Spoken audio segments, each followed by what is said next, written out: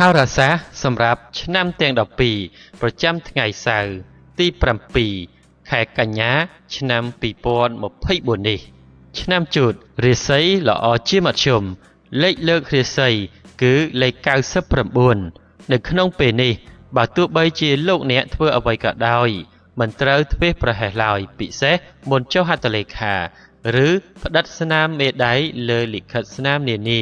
ចូលចេះពិនិត្យពិច័យឲ្យបានល្អិតល្អន់ទើបពុំមានការភ្លៀងភ្លាត់និងមិនខាតប្រយោជន៍ឥតអំពើ ការប្រកបការងារលោកអ្នកឲ្យប្រយ័ត្នកើតរឿងមួយហើយមួយទៀតមិនចេះចប់និងពិបាកដោះស្រាយនាពេលក្រោយសម្រាប់អ្នកប្រកបរបររកស៊ីជួញដូរទាំងការជួញទីចិត្តទីឆ្ងាយការរកផលកម្រៃទោះជួបផលលំបាកម្ដេចម្ដាក៏មានការហូរចូលមួយមួយក្រនបំពេញបំពង់អ៊ីចឹងដែរសម្ព័ន្ធភាពស្នេហាប្រុសស្រីសំបីតែស្វាមីភរិយាក្តីអាចមានអ្នកទី3ចូលមកជ្រៀតជ្រែកឆ្នាំឆ្លូវ រាសីស្រត់ចុះនៅក្នុងថ្ងៃនេះរាសីរបស់អស់លោកអ្នកគឺស្រត់ចុះហើយដូចនេះលោកអ្នកគប្បីមានការបើកចិត្តឲ្យទូលាយជាងនេះទើបដំណើរជីវិតមានភាពសុខដុមហើយគ្មានរឿងរ៉ាវចម្រូងចម្រាសកើតឡើងដើម្បីលើករាសីឲ្យឡើងវិញខ្លះខ្លះសូមអស់លោកអ្នកចូលប្រើប្រាស់លេខ777នៅក្នុងថ្ងៃនេះវិញបើលោកអ្នកប្រកបការងារអ្វីមួយមិនគប្បីមានភាពរឹងរូសឬយកភាព ទោសៈមោហៈដាក់ខ្លួនឡើយ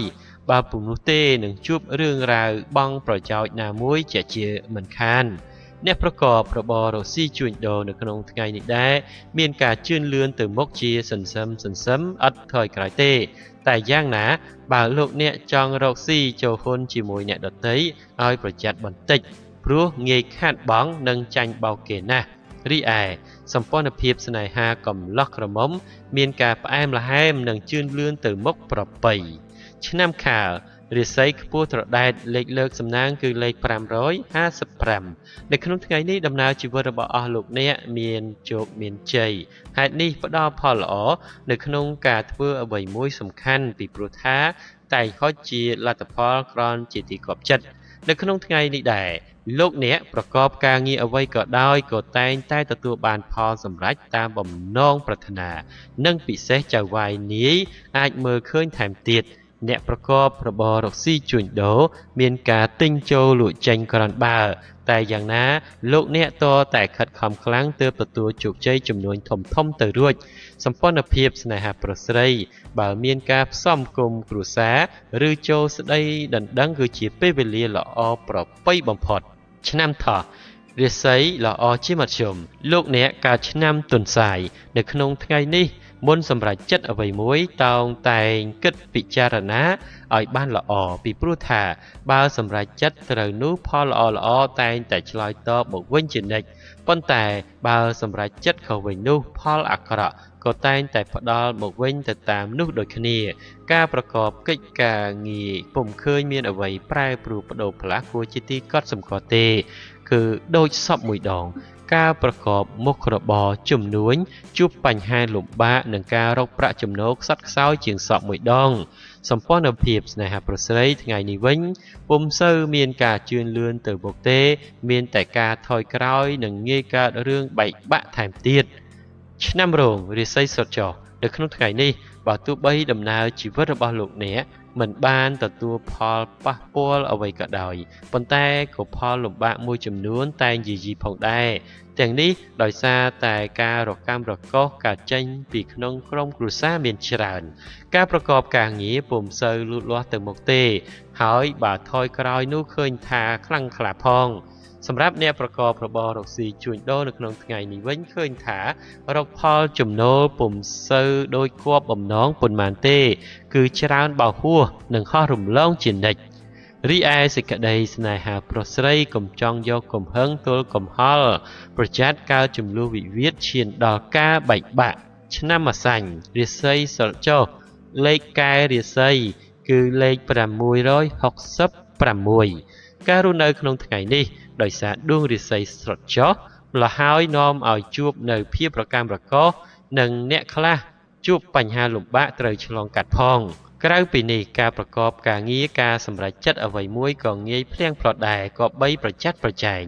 អ្នកប្រកបរបររកស៊ីជួញដូរនៅក្នុងថ្ងៃនេះពុំផ្ដល់ផលល្អនៅក្នុងការបណ្ដាក់ទុនធំប៉ុន្មានឡើយ គួរមានការគិតឲ្យបានគ្រប់ជ្រុងជ្រោយមុនធ្វើអ្វីមួយព្រោះបើបោះទុនទៅហើយមិនងាយដកទុនមកវិញឡើយហើយស្រួលមិនស្រួលកប់ដើមសូនឈឹងតែម្ដងរីឯបញ្ហាសេចក្តីស្នេហាកំឡោះក្រមុំឬមេម៉ាយពោះម៉ាយក្តីមានការហួងហែងនិងម្នាក់ម្នាក់យកភាពប្រចែប្រច័ណ្ឌដឹកមុខនាំឲ្យល្អក់កកផ្លូវចិត្តច្រើន ឆ្នាំមមី រាសីខ្ពស់ត្រដែតលេខលើករាសីគឺលេខ668ដំណើរជីវិតរបស់អស់លោកអ្នកនៅក្នុងថ្ងៃនេះគឺឃើញថាបញ្ហាឧបទ្រពចង្រៃជាឆ្ងាយហើយបញ្ហាល្អល្អបានហូរចូលមកជំនួសវិញហេតុនេះធ្វើឲ្យលោកអ្នកសប្បាយចិត្តសប្បាយកាយគ្រាន់ជាទីកក់ក្ដៅផ្លូវចិត្តថ្ងៃនេះការប្រកបការងារមិនសូវជឿនលឿនទៅមុខពិតមែនប៉ុន្តែក៏មានសុខដុមប្រពៃផងដែរអ្នក ប្រកបរបររកស៊ីជួញដូរវិញប្រៀបដូចជាបានភ្លៀងធ្លាក់មួយមេមេឃស្រឡះព្រោះអាចកម្ចាត់រាល់ឧបទ្រពចង្រៃទាំងពួងឲ្យវិនាសជាអហោសកម្មអស់ហើយលោកអ្នកអាចប្រកបមុខរបរពេញដៃពេញជើងឡើងវិញសម្ព័ន្ធភាពស្នេហាប្រុសស្រី មានការជឿនលឿនទៅមុខនិងកំពុងមានភាពស្រស់ស្រាយប្រពៃណាស់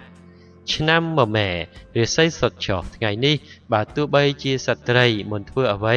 តោងតែចេះ គិតគូរឲ្យបានគ្រប់ជ្រុងជ្រោយបើពុំទេផលលំបាកពិតជាមិនងាយជិះរួចនោះឡើយនៅក្នុងថ្ងៃនេះដែរបើលោកអ្នកសម្រេចចិត្តធ្វើអ្វីក៏ដោយត្រូវមានការប្រុងប្រយ័ត្នប្រយែងបន្តិចព្រោះថាផលល្អនិងផលអាក្រក់ដើរទន្ទឹមគ្នាជានិច្ចសម្រាប់អ្នកប្រកបរបររកស៊ីជួញដូរការជួញផ្លូវឆ្ងាយពុំសូវកាក់កបប៉ុន្មានទេហើយបើរកស៊ីនាយអាយក្បែរក្បែរផ្ទះ គឺបានក្រន់ចិញ្ចឹមឆ្នាំងបាយអ៊ីចឹងដែររីឯបញ្ហាសេចក្តីស្នេហាកំឡោះក្រមុំ មានការកើតទុកឥតសូវស្បើយទេ ដោយសារតែរឿងរ៉ាវប្រទាំងប្រទិសកើតឡើងបន្តបន្ទាប់នាពេលកន្លងមកសម្រាប់ឆ្នាំវករិស័យល្អជាមធ្យមលេខលើករិស័យគឺ889ថ្ងៃនេះលោកអ្នកទោះធ្វើអ្វីក៏ដោយ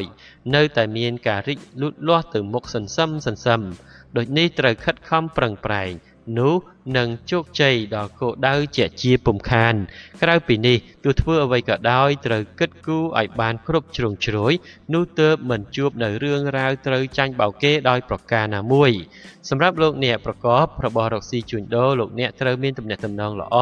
ជាមួយក្រុមមនុស្សនៅជុំវិញខ្លួនឲ្យបានច្រើនព្រោះអាចទាញផលប្រយោជន៍អ្វីមួយមកវិញទៀតផងសម្ព័ន្ធភាពស្នេហាប្រុសស្រីកុំគប្បីយកភាពប្រចែប្រច័ណ្ឌដាក់ខ្លួនច្រើននាំភាគីមកខាងទៀតកើតការធុញទ្រាន់ងាករេចិត្តឆ្នាំរការិស័យសុតចោរិស័យអស់លោកអ្នកនៅពេលនេះគឺលោកអ្នកមិនត្រូវជឿពាក្យអុចអារបស់អ្នកដទៃឡើយប្រយ័ត្នជួបបញ្ហាស្មុគស្មាញរកសិរីសួស្តីមិនឃើញ ការប្រកបការងារលោកអ្នកគប្បីបន្ថែមការប្រុងប្រយ័ត្នបន្តិច ពីព្រោះថាផលអាក្រក់ងាយកើតឡើងត្រូវឆ្លងកាត់ផង សម្រាប់អ្នកប្រកបរបររកស៊ីជួញដូរមានការរីកលូតលាស់តិចតួចតែយ៉ាងណា ការជួញទីចិត្តទីឆ្ងាយការរកផលកម្រៃនោះទោះមិនច្រើនពិតមែនក្តីតែក៏មានភាពសុខដុមគួរជាទីកក់ក្ដៅផងរីឯបញ្ហាសេចក្តីស្នេហាប្រុសស្រីកុំមានចិត្តរេដូចចុងស្រល់ប្រយ័ត្នកម្មពៀវាឆ្លងម្ដងម្នាក់វិញ ឆ្នាំចរិ ស័យរបស់អស់លោកអ្នកគឺល្អជាមធ្យមលេខលើករិស័យសូមអស់លោកអ្នកប្រើប្រាស់លេខ999បន្ទាប់ពីរាល់បញ្ហាមួយចំនួន បានធ្លាក់ចុះដុនដាបឬថមថយចុះមួយចំនួននោះលោកអ្នកកើតឆ្នាំចចូលមកដល់នៅក្នុងថ្ងៃនេះ បានងើបឡើងជាបណ្ដាបណ្ដា ហើយដូច្នេះលោកអ្នកត្រូវរវិះរវៃញាប់ដៃញាប់ជើង ពីព្រោះពេលវេលាជាមេប្រាក់ធ្វើច្រើនបានច្រើន សម្រាប់ការប្រកបការងារបើមានឧបសគ្គហើយការពីមុនមកទទួលផលលំបាកនៅក្នុងការដោះស្រាយពេលនេះបើព្យាយាមពុះពៀក៏តែងហុចផ្លែផ្កាដូចជាទីពេញចិត្តផងដែរសម្រាប់អ្នកប្រកបរបររកស៊ីជួញដូរមានការរីកលូតលាស់គួរសម ម្ល៉េះហើយគឺជាឱកាសល្អនៅក្នុងការពង្រីកមុខរបរឬបណ្ដាក់ទុនបន្ថែមព្រោះផ្លែផ្កាដែលទទួលបាន តែងហុចមកវិញដោយសមប្រកបរីឯបញ្ហាសេចក្តីស្នេហាប្រុសស្រី កំពុងសុខដុមនិងមានភាពផ្អែមល្ហែមគួរសមឆ្នាំកុលរិស័យខ្ពស់ត្រដែតលេខជួយរាសីឲ្យកាន់តែខ្ពស់ត្រដែតសូមអស់លោកអ្នកប្រើលេខ333នៅក្នុងពេលនេះ លោកអ្នកបើទោះបីជានិយាយស្ដីឬចរចារឿងអ្វីមួយតែមានក្រុមមនុស្សចូលចិត្តស្ដាប់និងត្រង់ត្រាប់ធ្វើតាមបង្គាប់បញ្ជាទៀតផងដោយសារតែថ្ងៃនេះដួងរាសីរបស់អស់លោកអ្នកឡើងខ្ពស់ម្ល៉េះហើយផ្ដល់ផលល្អសម្រាប់លោកអ្នកប្រកបការងារតូចធំពីព្រោះថា ផលតែងឆ្លើយតបក្រន់កក់ក្ដៅអ្នកប្រកបរបររកស៊ីជួញដូរបើចង់ធ្វើអ្វីមួយមិនភ័យព្រួយឡើយពីព្រោះលោកអ្នកតែងតែមានព្រៀបយ៉ាងហោចណាស់ ក៏អាចរកផលកម្រៃក្រនកក់ក្ដៅផងដែរបញ្ហាសេចក្តីស្នេហាកំឡោះក្រមុំឲ្យចេះដឹងទុកធុរៈគ្នា